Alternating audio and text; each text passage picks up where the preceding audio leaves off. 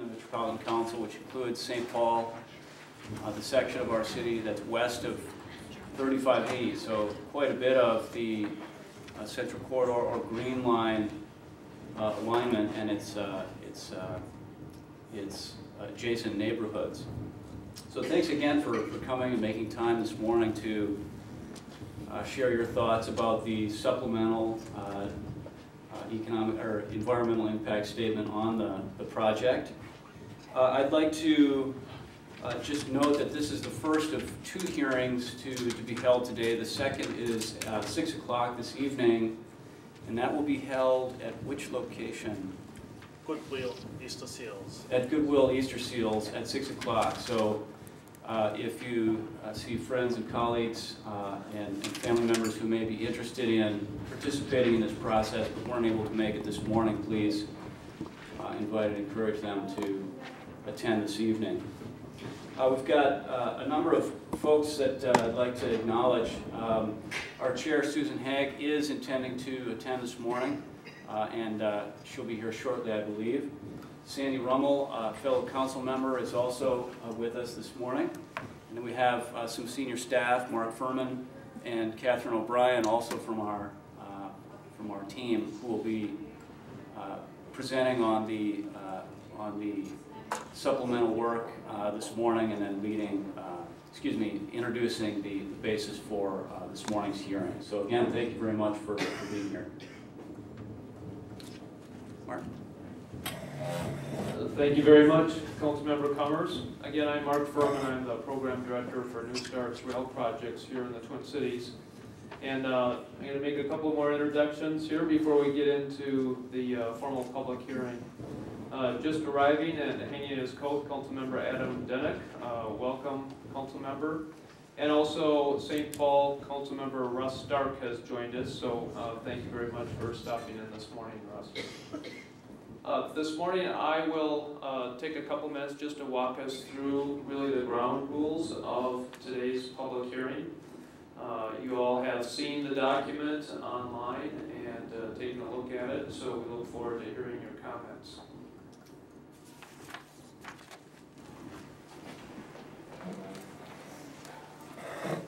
So the, uh, the purpose for today's hearing is really to listen, uh, to listen to your comments uh, based on the supplemental document that we published uh, back at the, uh, the end of December, and really uh, speak specifically. Good morning, Chair Haig. Hi. Uh, We'll let you get settled. If that's Okay, okay, I'll just walk through the ground rules. Okay. Uh, And the focus of the hearing is uh, really quite narrow, and that is related to the construction-related potential impacts on uh, your business revenues as you operate your businesses here along the uh, central corridor.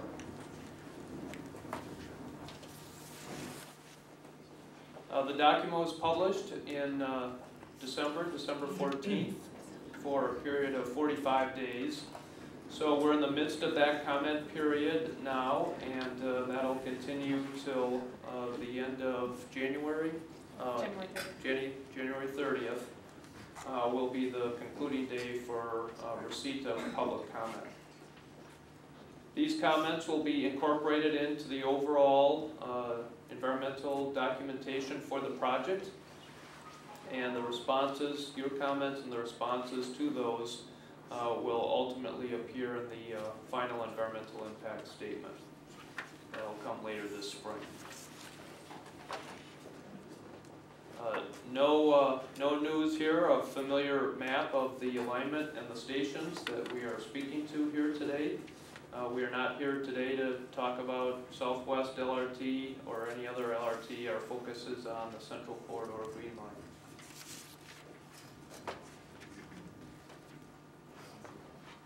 Where we're at on the project, uh, as you all live in the corridor and have experienced the construction the last two years, uh, We're pleased to say that uh, the overall project now is eighty-seven percent complete.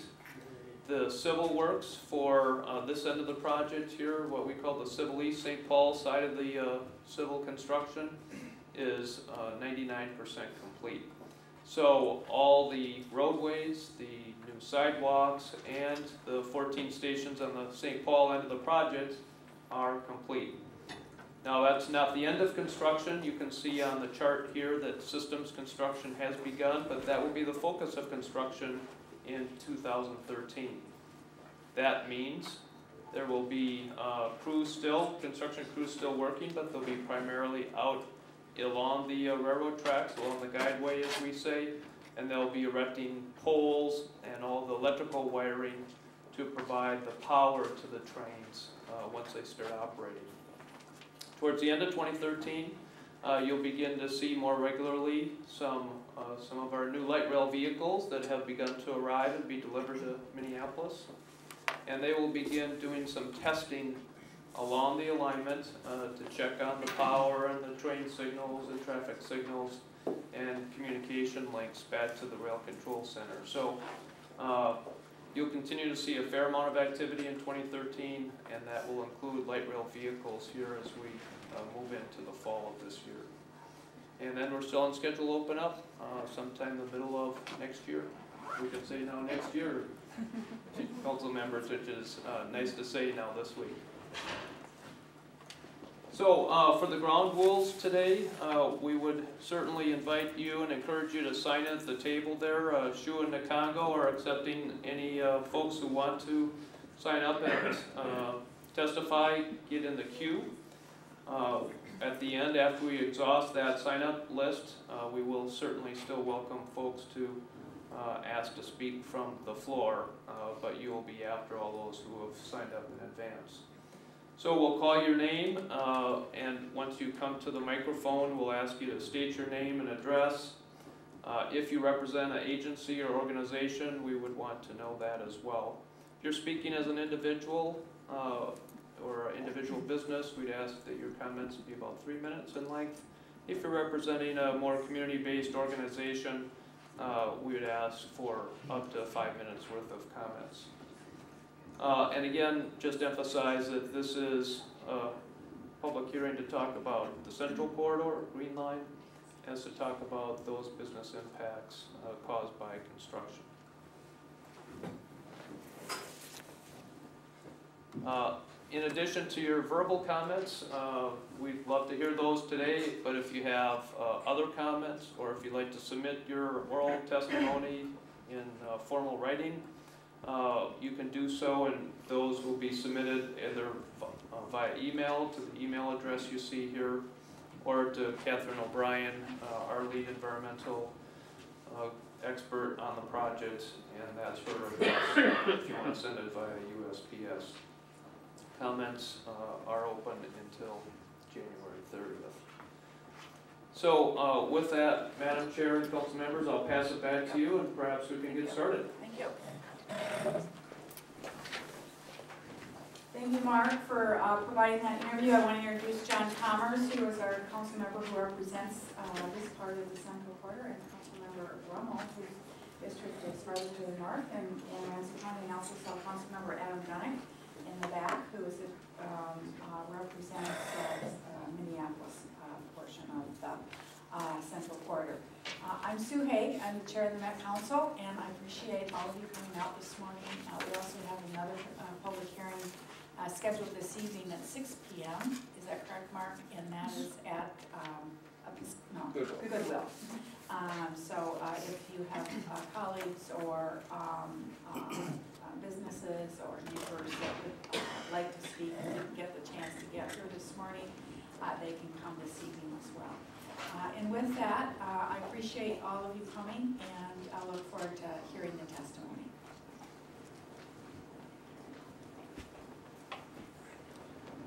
Uh, There's the list, Madam Chair. Oh, Just want to begin calling up folks from the list. Uh, First is uh, Lon Larry.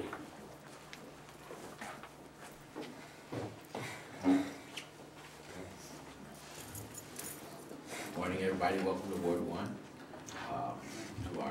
our, my neck of the woods. Um, we've been involved, I'm from Aurora St. Anthony Neighborhood Development Corporation, and I, I represent the folks back there in Aurora St. Anthony Neighborhood. I, I, I can't, I can't hear. Sorry about that. I represent, I'm from Aurora St. Anthony Neighborhood Development Corporation. uh, which is at seven seventy-four University Avenue. Uh, we've watched this, uh, project with anticipation. Myself, I've been working on this since two oh five. So, uh, that being said, uh, we've seen a lot of stuff happening down in this end. We saw a lot of businesses that really were trying to hang on at the time, they couldn't. Um, we have fought for, for this thing, and there are some reports that weren't done right. Um, we're still here, but we, we'd like to get equity for our people down in this area. Um, that report that, that had to be redone shouldn't have had to be redone. So, that being said, welcome, uh, please listen to what we have to say down here. Um, the businesses down here are really struggling. Uh, there was a combination, I guess it would be your perfect storm, uh, a, a long, uh, construction, uh, period, plus, uh, a media, media that didn't understand that we did need people to come down here visit our businesses. So, so bringing those people back to this area is gonna be a hard thing to do. So, that's what we want, is we want people to come back and, and visit our area, spend their dollars here, and, and make sure that, that we're surviving. Thank you. Thank you. Next, thank you. Uh, next up is uh, Mike Zipko.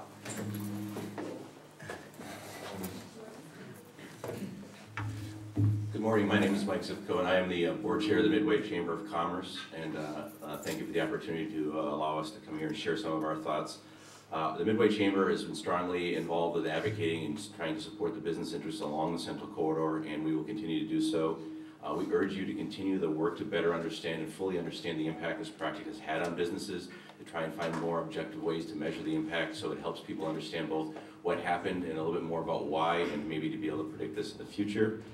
Uh, We think it's important to do, as you move forward, take practical steps as you're looking at ways to support businesses that are, have meaningful impacts, but understand that you don't have enough resources to solve every problem, make the most significant, most practical investments. Uh, we think the focus needs to be, uh, to continue to be on business mitigation and business support long after the train is running in 2014. Uh, one, one of the things we've found is that even after construction had been finished on the western part of the, the, of University Avenue, uh, tra- traffic had not come back. People had perceived that the entire avenue and the entire area was on, was a, a, uh, non-accessible place. And I think the message needs to, uh, the focus needs to continue until the trains are running and even long after that. Uh, We also hope that the lessons that have been learned from uh, the business impacts and some of the successful and less than successful mitigation efforts can be documented, shared, and be used to uh, shape future projects to make the, what happens in this metro area better going forward. Uh, The business community understands transit investments need to continue in this marketplace. We're hoping that this, uh, the painful lessons that have been learned here can help inform other projects and make us a smarter uh, region as we do move forward. Uh, The Midway Chamber wants to continue to be a resource uh, and an advocate for the business community and and willing to engage with the um, Met Council and other advocates here, continuing to go forward. It's been our history, it's our legacy, and we're going to continue to do this long after the train is running and want to continue to be an advocate for both the businesses and uh, the impact that transit has had. We also like to uh, applaud and uh, congratulate the effort that the Met Council has undertaken with Mod and Company for the recent marketing materials the book and some of the other ways to help brand and help people identify different parts of the avenue, we think are great. Uh, we think they are easy for people outside the area to understand, and we think it's very, um, probably one of the most dramatic uh, marketing efforts we've seen in a long time. We're doing what we can to share it, and we encourage you to continue activities like that.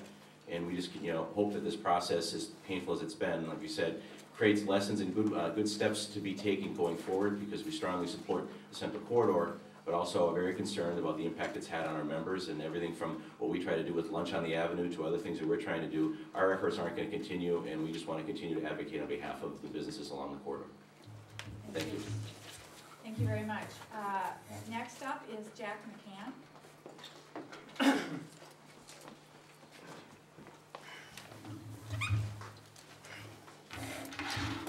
Good morning. Um, My name is Jack McCann. I am the president of the University Avenue Business Association, representing uh, approximately 240 members uh, up and down the University Avenue corridor. The uh, comments I'm gonna make are based on the report itself. Uh, starting with, uh, in the report, uh, I am disagreeing with the, uh, portion on the alternatives covered more than once, uh, stating the different alternatives that were, uh, looked at and, uh, deciding finally on one called the preferred method. Uh, it refers to, thousand nine record of decision, in two thousand ten, and then in two thousand eleven finding of no significant impact study. Those reports, I believe, came after the preferred method was already chosen, so the latter two have already been determined as bogus reports. They really didn't address things uh, in the manner, and that is probably why we are back here again today. Uh, The real uh, experts on the avenue, the business owners made it clear time and time again there would be a lot of damage. It started in '06, I've been the president since 2009. Uh, I've heard at least a thousand stories on this. Uh, Had a proper evaluation been done, the preferred method would not probably have been approved by the FTA for the matching funds of four hundred and fifty million dollars due to failing the cost-effective index. Uh, It even uh, did not include three extra stations which were added later. There's a huge amount of funding that was left out of the funding request by not admitting the damage was significant. The preferred method uh, is believed that simply what the Met Council desired and wanted to fit the scheme of the transit in the area, and uh, it appears that the studies were massaged to support that. Uh, Next, the study does not go on to state any real amount of damage in dollars. Real dollar amounts would have been, had to been included in the request for funding in the form of mediation or mitigation. Left out of the pic, left out of the picture is the damage to the residents and the home values. There is a direct relationship between small business and the nearby residents. Left out is the economic downturn from the planning stage prior to construction. Businesses were leaving and there wasn't a proper study leading up to the construction. Businesses got out of the way of the train. Had, uh, it, it had an effect on the vacancy that, uh, we are currently reporting as twenty-five percent or, or thereabouts. It also has a very big direct uh, impact on the comment in the report saying that a net loss of three businesses over the course of construction. It's kind of a joke, you don't end up with twenty-five percent vacancy by losing three businesses. Uh, The typical corridor similar to this all throughout the country rates about nine percent vacancy. So uh, it was not properly examined. Uh, Left out of the report is also rental property. Uh, It happens to be my business. My business is uh, rental of offices and warehouses. Uh, There was, uh, we saw an enormous downturn. Some of it, I will admit, was due to the general economic uh, situation in the, in the city. But personally, during the two years of construction and leading up to it, I was told numerous times by um, realtors and, and uh, possible tenants that they just simply don't want to be down here during the construction phases or until things are up and running, which is still 2014, so another year plus away. Uh, Based on that, uh, the dollar amounts uh, I've seen in my business, two to three dollars per foot rent. I've got about two hundred thousand square feet in the area down there. Uh, The simple math is four hundred to six hundred thousand dollars annually. That is a very slow recovery when you have a twenty-five percent vacancy rate. The, uh, the economics of it is people can rent cheaper elsewhere when there's vacant properties. So the recovery of the per square foot is very slow to come around. And uh, third, in the future uh, business section in the report, uh, it's kind of funny, the project did not listen to the so-called experts, the businesses up and down the avenue for years leading up to the project. But now, the businesses say they expect uh, an increase and to see an uptick, and it's reported happily. This avenue is at its worst financially, where else are we supposed to go but up? It's kind of obvious. This project, from planning to design to funding to construction, can be summed up as dishonest and pathetic. We shouldn't have been here in the first place if an honest organization, which is not the Met Council, would have openly evaluated the real effects of shoehorning a project this size onto this avenue. Those are my comments, thank you. Thank you. Uh, Next up is um, Brenda, is it Tyke? Yes. From um, United Medical.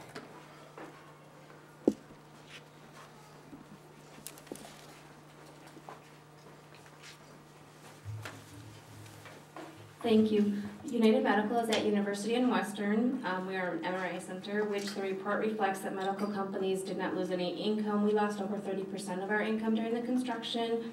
We had to accommodate with long hours, overtime doing to some of the things that were happening with the equipment out on the streets, including early morning, late nights, and Saturdays and Sundays to accommodate some of the stuff when we didn't know about when it was happening. We additionally had to do extra repairs on our equipment, which was, the total of that was roughly twenty thousand to thirty thousand dollars. Our patients had a hard time getting around to finding the locations because the streets were closing, but that was with everybody's case, so that wasn't strictly to us. And then some of the patients are still continuing to complain about parking. I mean, I know there's some on university, but it's still limited. So, thank you for your time. Thank you. Uh, Next up is um, from My uh, Spine uh, Center, and it's, is it Dot Davis?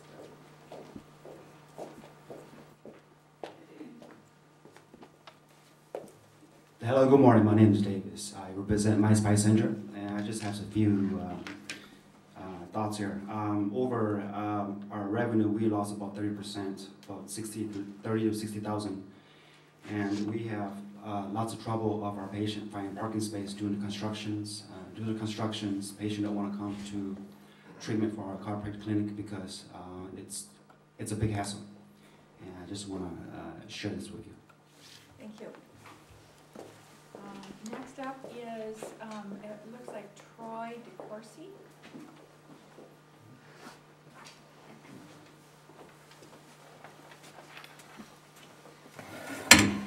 Morning. Name is uh, Troy DeCoursey. I own uh, the Love Doctor in St. Paul, Minnesota here on uh, University and Snelling. Um, Regarding uh, the loss of business, uh, we definitely have felt it by about forty percent um, per month, just in lost revenue. The uh, thing I do not see in this, and this is one of my biggest things, is that we do not see the Midway Coalition helping any of the small businesses here, especially with what I'm going through right now with signage. Um, we wanted to have a new sign put up to, so that traffic could see us coming back and forth and see our name. We were actually going with a smaller sign than what we had. We were approved by the zoning department, had to wait the ten days for appeal, and of course, the ten days were up and someone appealed it, which was the Midway Coalition and Russ Stark. These are two people that, you know, well, the group and then Russ Stark, these are people that we count on, you know, to help us out during this process, to get our business to survive during this construction. And they are arguing the fact that I'm asking for a smaller sign and more visibility. Um, and I think it's wrong, but we have lost a lot of money due to no parking. Um, we do have a lot that's in the back of our building that the city is trying to work on, but has, you know, this was supposed to be done a long time ago. I guess the, the facts are is that we don't, as business owners, are not getting the help that we deserve. Um, regardless whether you like us or not, whether, what it is, it's, everybody is feeling this and we're, you know, we need help. And there's money left over for this parking, uh, deal that's, there's a lot of money left over that's not being used for the parking for our businesses. That seems to be going away, but according to our contracts that we have with you guys, the twenty thousand dollars that we got, in that, it shows an amount for parking. If you're not gonna use that, then give it to the businesses that could use this money to stay alive. And that's all I have to say. Thank you. Um, Next up is Clay Lambert.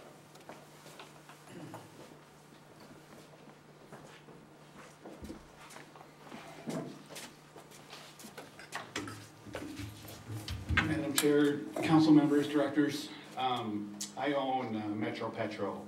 It's on 2700 University Avenue Southeast over in Prospect Park. Um, I, uh, I own a gas station. It seems to be in conflict with the light rail, but I actually uh, testified a few years ago that I would like it. um, Because uh, I, there's just no way I'm ever gonna be able to pay an affordable living wage as for a cashier for a college kid. That's not my job. Um, we give them a job, we, we teach them how to work, how to show up to work every day. But they're still broke and they still need a ride to work. And that's what the light rail will do for me, is bring employees, bring uh, customers and all that stuff. So it still works for me.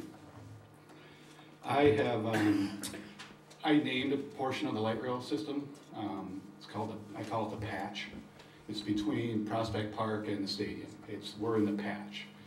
And um, what happened was, uh, the first year, no impact. I was really surprised. We had a great year, so banks said, fine, great, no problem.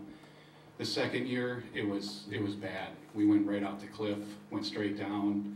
Um, That was university, and then I think around July, uh, Huron and University in Washington just looked like a bomb went off. And it went even deeper.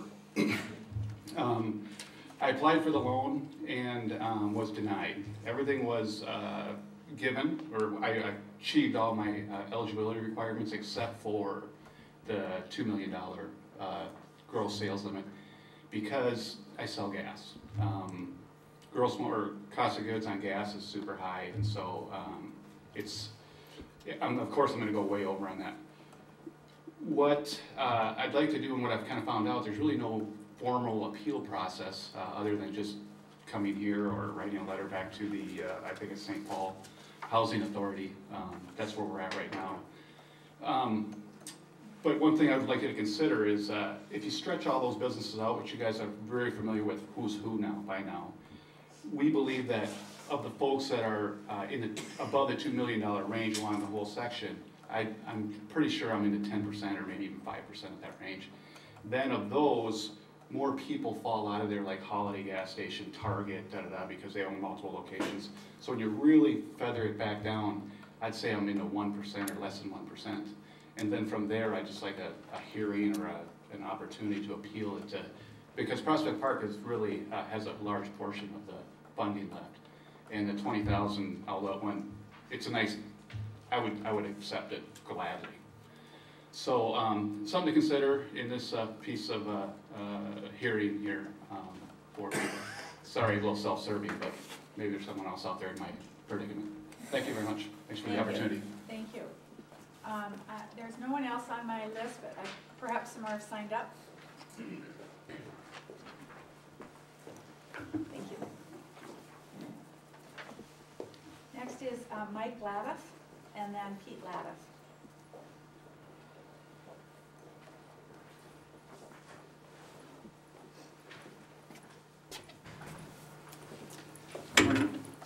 I'm Mike Ladiff, I own Ladiff Brothers.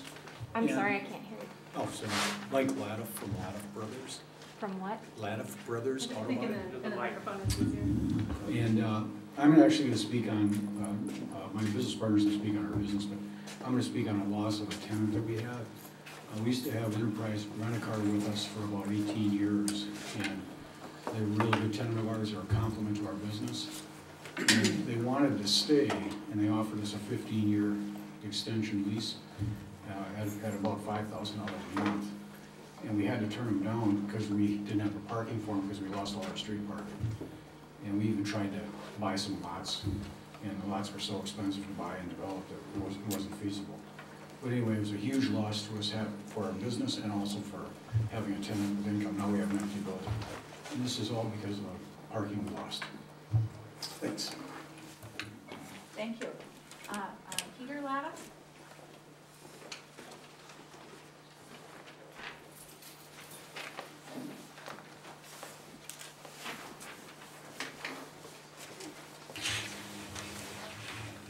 Pete uh, President of Ladiff Brothers Auto Body. Um, I just want to talk specifically about the effects that uh, light rail construction's had on our business. Our customer count in 2011 for estimates uh, was uh, 2,679 people showed up at our door for estimates. And this is, these numbers are from March until November in both circumstances, 2011, 2012. Uh, In 2012, we had uh, 2,200 people show up. That's a 17.6% drop in, in traffic to our door. If you look at it from a job count standpoint, how many people came to our door and we wrote estimates for, but weren't willing to come back to have the work done because of the problems with the traffic and, and everything else. Um, We had, uh, job count wise, it was 2272 down to 1748. Uh, That's a twenty-three point six percent drop. Uh, Five hundred and twenty-four customers that we lost, probably went somewhere else, had their cars fixed, we never ever get them back. Uh, Without getting into, you know, numbers and everything, Sales were down eighteen point three percent, profit was down fifty-two percent. Um, It's a huge drop, not only for, for the business, but for our employees. They lost hours, they lost income, you know, it, it's, it's not just a business thing, it's the employee thing too. So, you know, that's just what I wanna make everybody aware of, and there should have been some kind of mitigation coming back, you know, to help the businesses and help the employees. Thank you. Thank you. Um, I don't have anyone else uh, signed up on my list. If there is anyone else who would like to um, speak, uh, uh, just please come forward and give your name.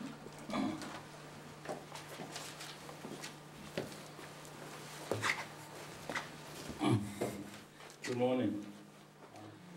My name is Winston Wynn. I'm uh, the owner of uh, uh, 854 and 850 University Avenue, St. Paul. And I've been doing uh, No Republic for 22 years. And um, I run the restaurant cross street from here. But soon uh, the light rail uh, construction, my business way down maybe sixty percent. Um, I'm not again for light rail, but uh, I give a lot of uh, suggestion about how uh, light rail uh, construction and how they run and and the business on University Avenue still live alive. And uh, we are very struggle with um, no parking. We used to have a whole front parking, but now we have none. And um, the next door of our hall uh, was for sale, and I tried to pay it, uh, to buy it, and I pay uh, uh, application fee and everything, and I've been taking care of that. Probably have been abandoned uh, vacation uh, for at least uh, six, seven years. But uh, the city of St. Paul, I heard that city of St. Paul bought it. And I'm really very upset about why uh, I'm the one, uh, the first, uh, have priority to buy that property. But why St. Paul buy the little spot next to my door? And I talked uh, to uh, the city of St. Paul many times. I talked to uh, a development and city and uh, uh, city attorney and um, uh, my uh, lawyer at the city of St. Paul too, but nothing worked. And um, I don't want my business die. Um, I, I want to keep it.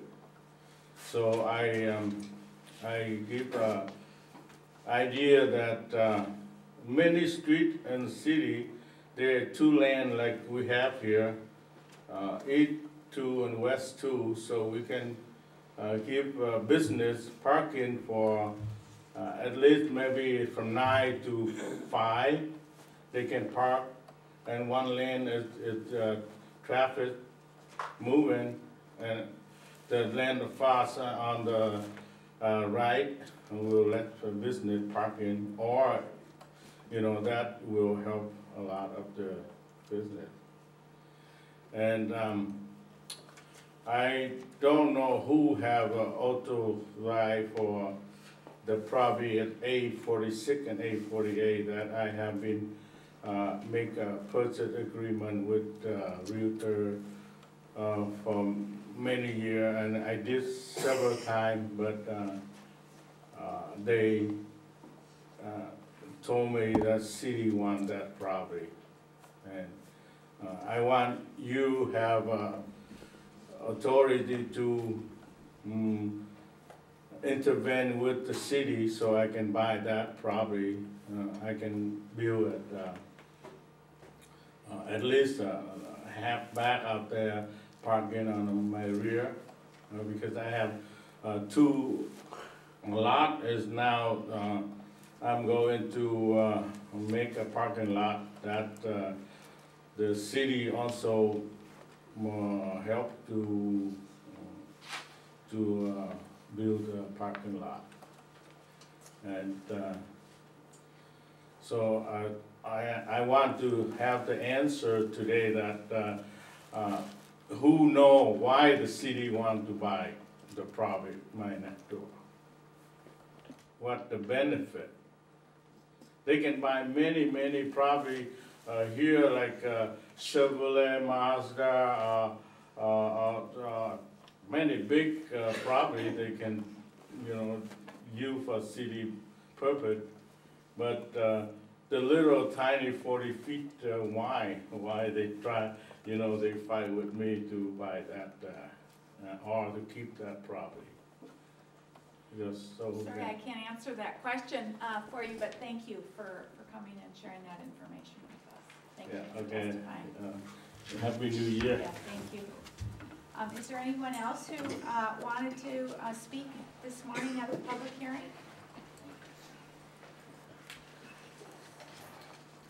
Anyone else who would like to speak this morning? Hearing uh, no one else um, who has either signed up in writing or was uh, spoken uh, this morning, we're going to close the hearing for uh, this, this morning. Uh, There will be a hearing again this evening at six P M. Um, And thank you very much for your comments. Thank you for your patience during construction.